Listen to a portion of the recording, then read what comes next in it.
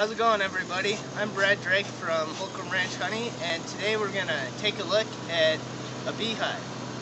Now the first thing we, we're looking at here is we have plenty of bees going in and out. It's a nice day here in Reno so we're going to have a look at them.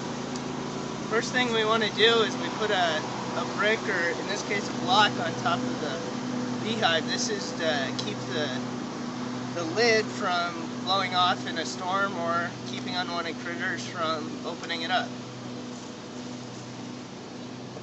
Now before we go into any beehive, what we like to do is we, we take our smoker and we, we do what's called smoking the hive.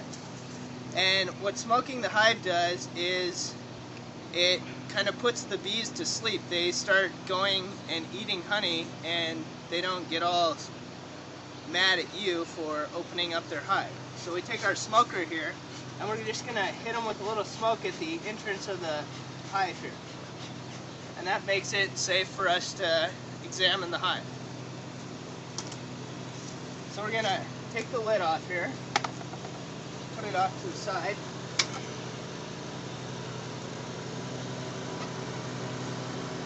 And you can take your uh, your hive tool here and go between the hive boxes a lot of time what happens is the bees will seal everything off with um, it's called propolis and if you get a zoomed in shot of here I'll show you what the propolis is. The, the propolis is this uh, orange colored stuff right around the edge here and a lot of people say it's good for arthritis and it's kind of like a, a consistency of chewing gum but people will eat it. But what the bees are using it for is to seal everything off to keep drafts and stuff from going in and out of the hive. So if you look at what we have here, is we already have several thousand bees here working the supers. And these two top boxes are the supers. And if you look here, all these bees are what's called drawing out uh, on the foundation. What they're doing is they're putting honeycomb on the foundation of the frame. And eventually, a few months from now, this will all be full of honey. And this is what the beekeeper gets from the bees. These lower two boxes are where all the, the hatching of the new bees, the rearing, and uh, the everyday life of the honeybee happens. But these two upper boxes, the supers, is where all the honey is being stored for the beekeeper. But we can take out a few more of these and you can see that there's literally thousands of bees here working, drying out the frame. You can see they're starting to get some honey right in here, the, the translucent appearing liquid here. That's all honey. But eventually this will all be drawn out nice and thick with honey.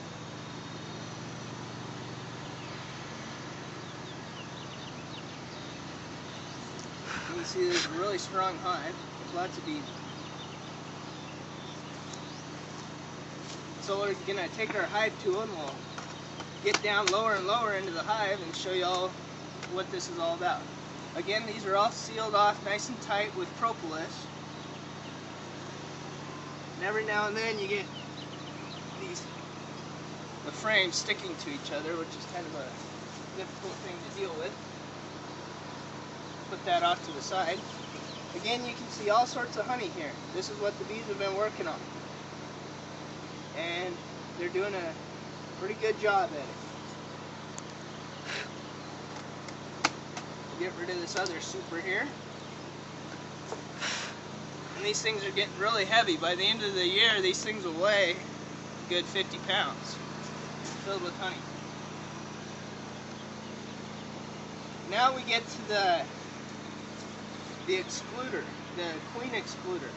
What this uh, divider does is it prevents the queen from coming up into the super and laying eggs and hatching out bees in your honey you want to keep the honey as clean as possible and that's why we put this uh, ex excluder in here and that just saves saves your honey and gets you a good crop every year. Now you can see there's all sorts of honey on here. And a good thing to do is you take your, your hive tool here and clean all this off. And this just allows more openings for the for the bees to to go up into the supers and make and fill up the the frames with honey. So we'll get rid of all this.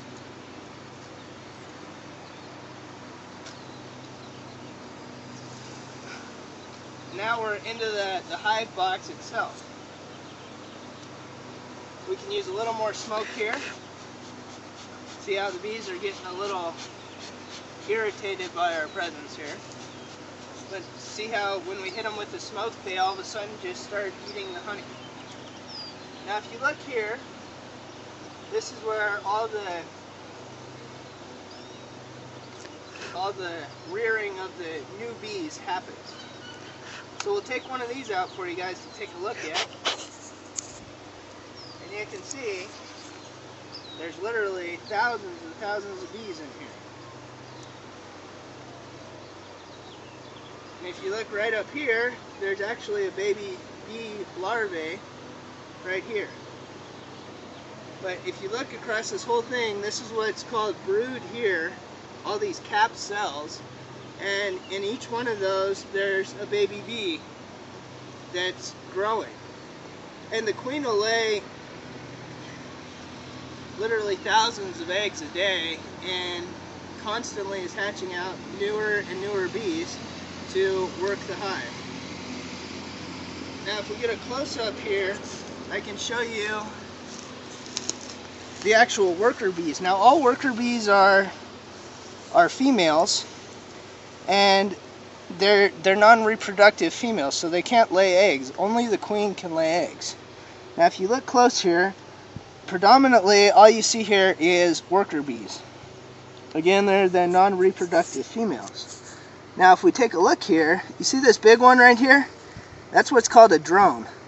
And he's a male bee and basically his job in life is to mate with the, the queen and so she can be fertile and lay lay eggs. And again, if you look down deep in these cells, you can see the baby bee larvae, the white looking worm things. And in a few weeks, those will hatch out. And all these bees, what they're doing here is just feeding the, the larvae and keeping them at a constant temperature so they can hatch. Again, you can see a whole bunch of honey right here that's being stored. And this is what the bees are eating while they're they're hatching out the, the larvae.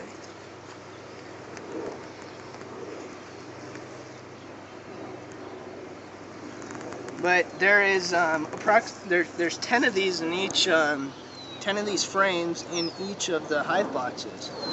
And so you can imagine that if there's this many bees on one frame, and there's 20 more in that um, in that hive, there's you can easily see how there can be up to say 50,000 bees in a in one good strong hive box.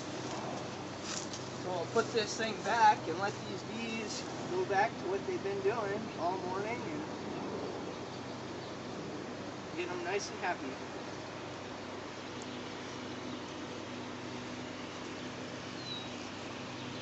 Again, here's our uh, queen extractor. We're putting that on to prevent the queen from laying eggs in the upper portions our supers.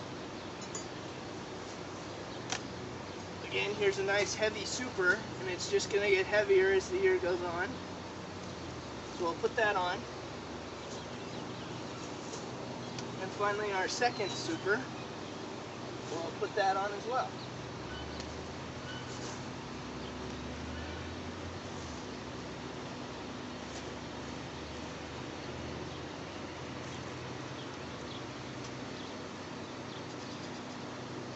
And the bees will again seal this off with propolis to make a nice air and watertight seal throughout the whole the whole hive.